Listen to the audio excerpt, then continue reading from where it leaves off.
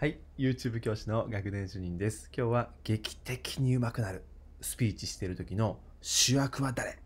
という話題でいきたいなと思います。はい、ということで、トンと。で、今後ですね、日本はですね、人口減少が1年間で100万人ずつ増えていくんですよ。そうすると、子供は減り、労働者は減り、消費者は減っていく。減少社会に、えー、差し掛かっています。というかもう、差し掛かってるんだよね。現在ももう、減少社会真っ只中なんですよ。で、っていうことは、まあ、これまでの常識っていうものは、これ本当なのってこう疑っていく、疑っていく必要が本当にあると思っているんです。それで私はいろんな勉強をしています。まあ、そんな中で、えー、今日はですね、60時間目、聞き手が主役っていう話をしたいなと思っているんです。うん。あ、そうですね。この劇的に上手くなるスピーチしてる時の主役は誰ということで、まあ、答えは本当に聞き手はね、あ主役は聞き手だっていう話をさせてもらおうかなと思います。私はですね、鴨さん、ね、鴨頭義人先生のところで、まあ、学んでるんですよ。話し方の学校ってところで学んでいます。で、あちなみにチャンネル登録、鴨さんね、60万人達成しました。せーの、いいねいや、すごいですよね。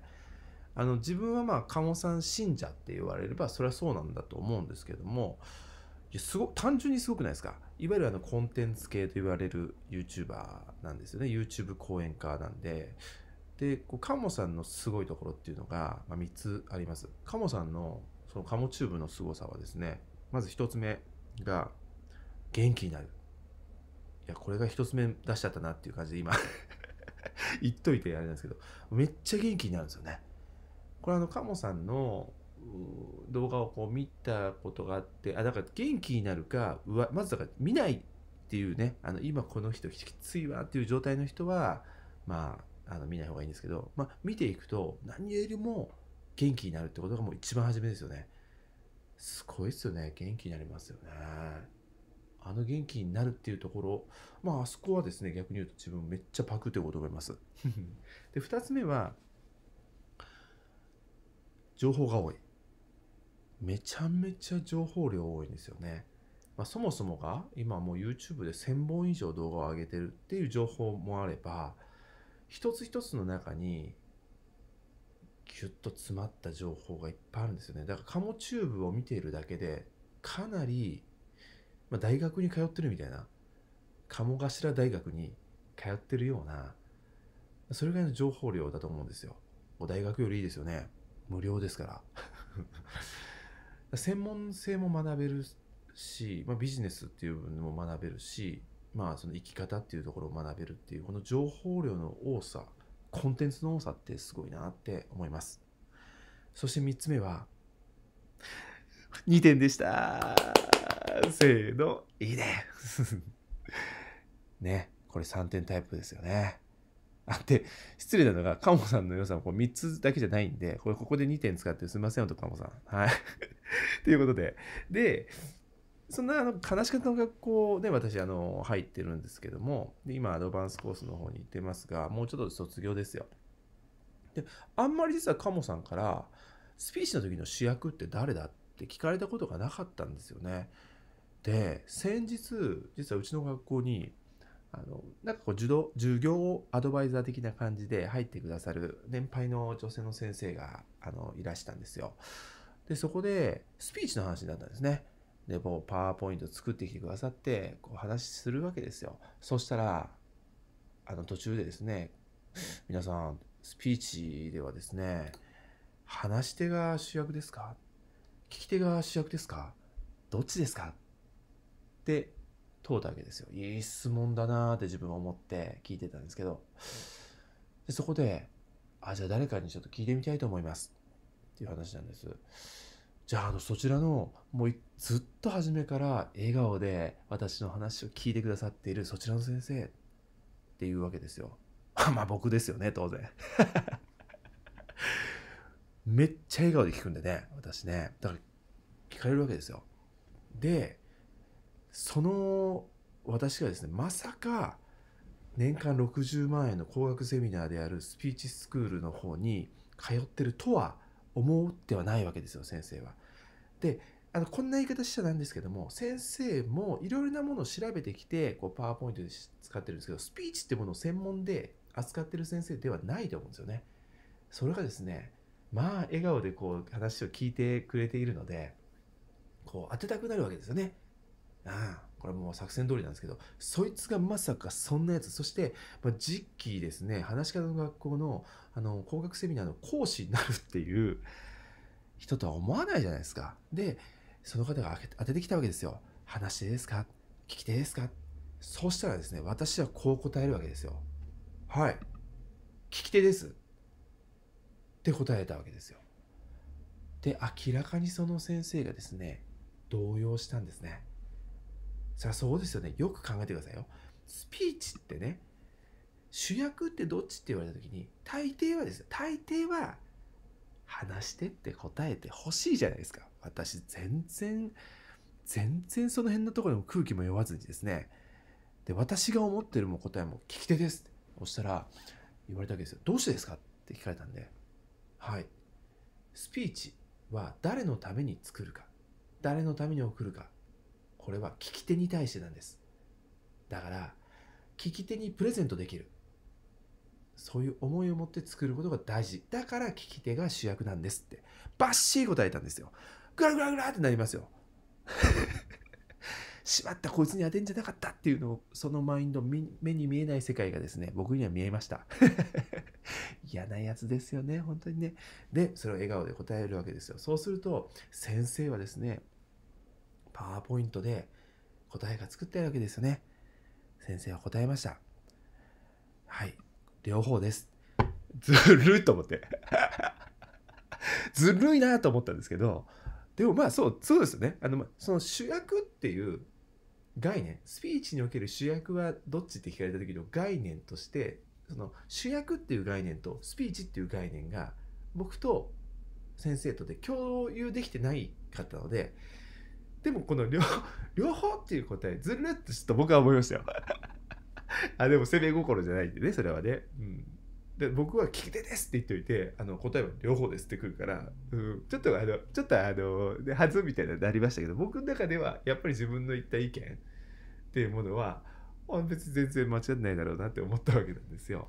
うん、あそんな感じで僕のいるところにこう研修に来たりした人はですね結構あの私当てたがるんですけど当てない方がいいですよ 芯食った意見をバシッて言いますんで、はい、そんな感じですよね。で、じゃあなんで、あなんでじゃないや、その聞き手にね、あの、どうやってプレゼントするといいかってことなんですよ。あの今日のね、お題はこれじゃないですか。劇的に上手くなるスピーチしてる時の主役は誰ということなんで、劇的に上手くなってもらわなきゃいけないんで、ということで、私はですね、もう聞き手が主役だって、もう決まってるんですよ。で、聞き手が主役である場合ってどうすればいいのって言ったらもうズバリ簡単に伝わるように話してほしいってことなんですよ。どうですか皆さん。難しい話とあ分かりやすい簡単な言葉を使った話とどっちが受け取りやすいですかって。ねプレゼント。プレゼントですかねスピーチは。だからこちらも送ってます。スピーカーとして送ってるんでそれを受け取る側ってどういう状態が受け取りやすいですかってことですよ相手が喜ぶかってことですよね。うん。そうするとやっぱ簡単の方がいいじゃないですか。分かりやすい方がいいじゃないですか。これ例にとっていきたいなと思います。3点タイプの話をします。これであの同じ合宿に行ったあの慶吾さんがですね、素晴らしいフィードバックをしてたんですね。自分の学びをツイッターの方で、えー、僕がこの3点タイプっていうのを皆さんの前で教えたので、それを使って、えー、私の学びは3つありますって形であのやってくれたんですけどもこの3つありますの1つ目がって言ったところがすごく長かったんですね。例えばこうです、うん、このラーメンの美味しさ良かったところを3つ伝えます。1つ目は、えー、平打ち麺なんだけれどもコシがしっかりあってでも麺をあの長さ短くってかつ加水率がえー、高めの麺ですって言われたとします。これとですね、比べて、1つ目は、あ、このラーメンの良かったところを3つお話します。1つ目は、麺です。っていうのと、どっちが伝わりやすいどっちが受け取りやすいですかってことなんですでたくさん話したここの1つ目はの後っていうのはとにかくすっきり簡単にしてください。だって簡単が伝わるんで。でできれば仲間言葉にしてもらえるといいかなっていう話なんですよね。この仲間言葉って何かっていうと、うん、例えばこのラーメン屋さんの良さ。このラーメン屋さんがうまくいっているポイントは3つあります。1つ目は経営力。です。で何か言います。2つ目は向上心です。3つ目は経営力向上心人間力でですみたいな。今は全部力になってなかったな。仲間言葉になってもなかったです。一応漢字3文字でポンポンポンってえー、なんだっけ？経営力ななんて言いましたっけ？話し手が全然聞き手か考えてないですね。全然受け取れないですね。えー、えっと、経営力、最後は人間力、なんとか力、忍耐力、忍耐力でもいいですわ。そうやって仲間言葉にして、でそれで、あのー、その後理由みたいなのを付け加えていくと、とっても相手はね、受け取りやすくなります。なので、一つ目はあの後は短い言葉で、で、できればです。できれば仲間言葉にするっていうと、相手は受け取りやすいよっていうところがあります。そんなこと言いながら自分もここで話しながら全然仲間言葉にできてなかった ことに自分も気づきましたけど、あ、でもいいんですよ。だって失敗最高。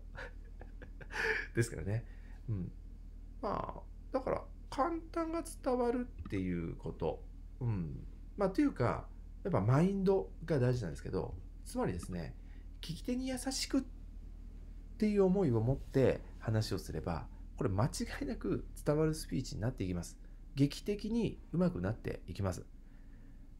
心の矢印今どっち？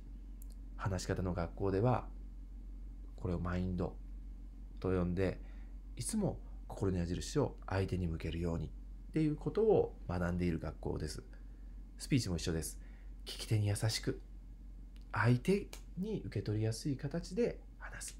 そのためにどうしたらいいのかっていうマインドだったりそのためにどうしたらいいのかっていうコンテンツだったりデリバリーだったりっていうものをああやった。あ今すいません。